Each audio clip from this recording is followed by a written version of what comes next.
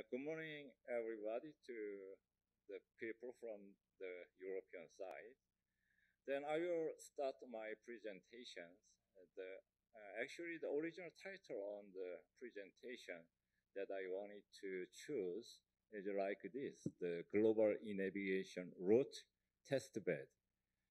Uh, it is because I'd like to propose this as one of the the first collaboration testbed under the Digital@Sea testbed cluster through my presentation today.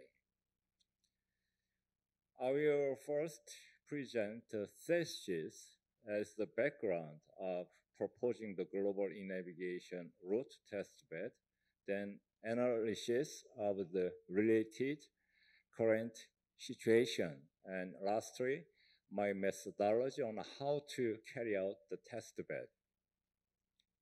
Uh, sorry, I forgot to change my slide by myself. Yeah. So my thesis has two approaches, the theoretical and empirical. The World Maritime Community says e-navigation will provide with many kinds of benefits like this. The IMO said in its e-navigation strategy implementation plan that e-navigation will cut off 65% of ships collision and ground accidents. I saw this uh, some article on newspaper, the PortCDM uh, collective decision making maybe. This community says that port operation and cost would be saved up to 12 billion US dollars globally. And also, I would say that ship's bunker would be saved up to amount of 10 billion US dollars globally. navigation is uh, it's a of, uh, it's a kind of stepping stone towards the fourth industrial revolution in maritime sector too. Then why a lot of concerns on navigation are over there still in these days? I will explain this by a role play together with Juan today, and I will have the role of a computer inventor in the role play. And also, the Juan, can you help me to be a customer in the role play? I would love to.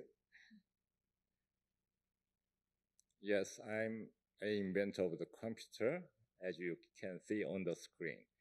Uh, computer is very good. It's very smart, fast calculation, and even internet is available. Buy and use this computer. Hmm, but can you make it in a portable size? Because I want to be able to use it anywhere and anytime. Oh, really? I didn't know that you want a portable. Here you are. This is a portable computer and very good. No, it's not good at all because it's useless. I can't even see anything on the screen. Oh, really? You want one that you can handle by yourself? How about this? I applied pinch to zoom to meet your needs. Exactly. This is what I wanted. And because of this pinch to zoom, I can handle and use all kinds of applications on it. Exactly right. That's your result. As we can watch the role play, the pinch to zoom is a core technology and services to make meet customers' needs and benefits, right?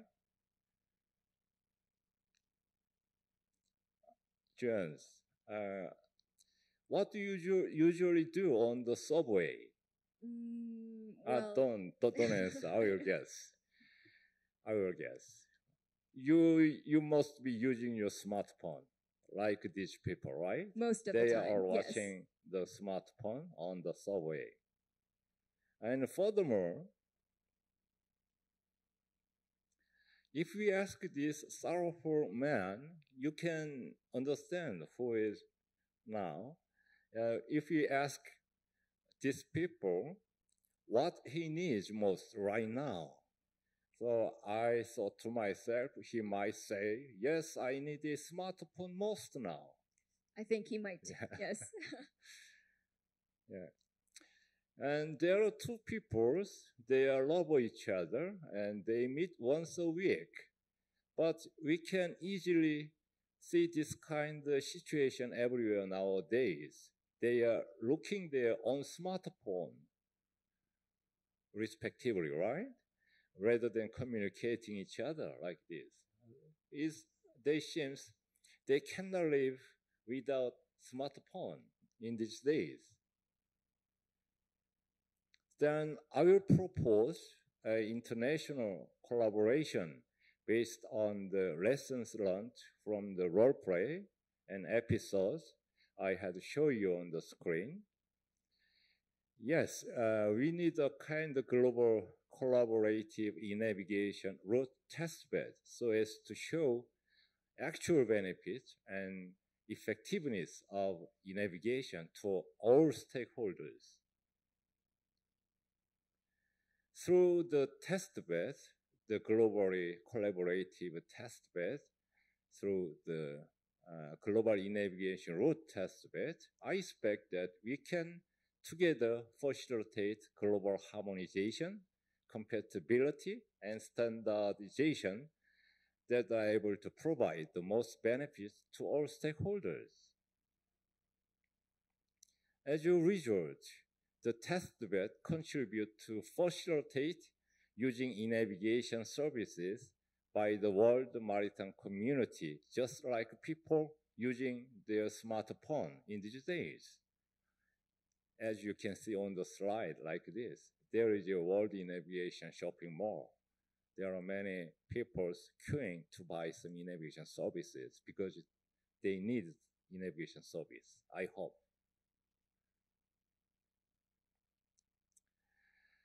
This slide shows some kind of challenges that I had experienced in the case of a former MOU on global e-navigation test bed.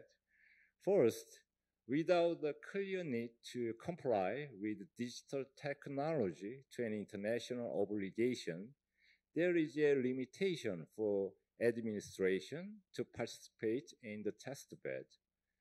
Secondly, without a best practice and service instances verifying and validating its global harmonization, effectiveness, and benefits to stakeholders, the concerns on e-navigations are still listed and continued by industries and users.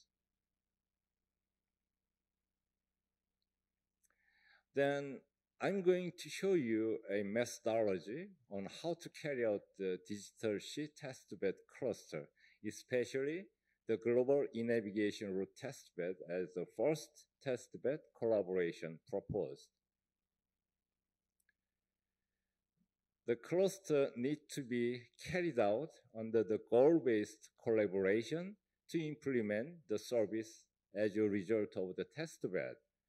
To this end, the cluster needs to make an effort to put into place the clear international obligation at IMO, while create a best practices and actual services instances at the same time.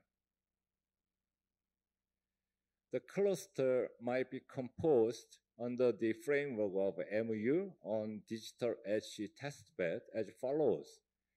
First, there should be some shore-based service platform regionally. For example, this is an example, I guess, the smart navigation service platform in Korea and Navlink, Navlink, Navlink service platform in Europe and Massport service platform in Singapore as a calling port of the ships, ships route from Korea to Europe.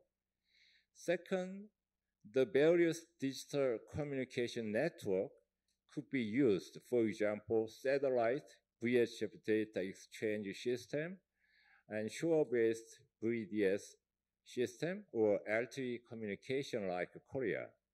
Third, the third element is the shipborne digital platform such as ECDIS that is applied with the internationally agreed of 100 S100 data model. As various stakeholders could participate in the testbed like this, maybe the Miss Julian commented out uh, such kind of stakeholders to have some cooperation, international cooperation from the industry to the users or administration and university. Yeah, every stakeholders can participate in this testbed together to make a harmonization. And this is a time frame and roadmap I propose to carry out the Global e-Navigation road testbed under the Digital@Sea initiatives. First, signing on MOU at early next year.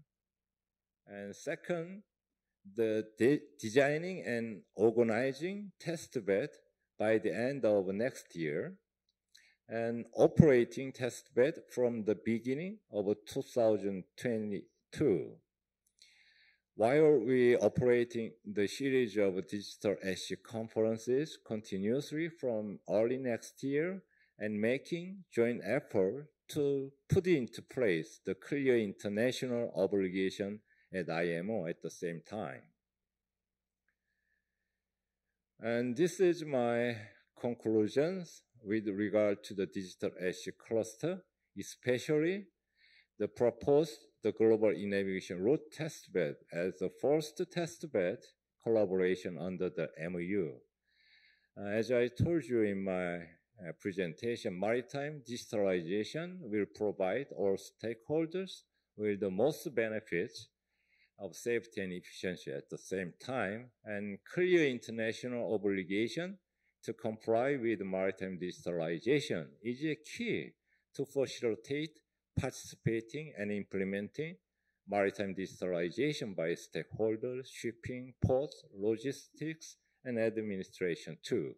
It's very essential to create best practice showing actual benefits and effectiveness of maritime digitalization.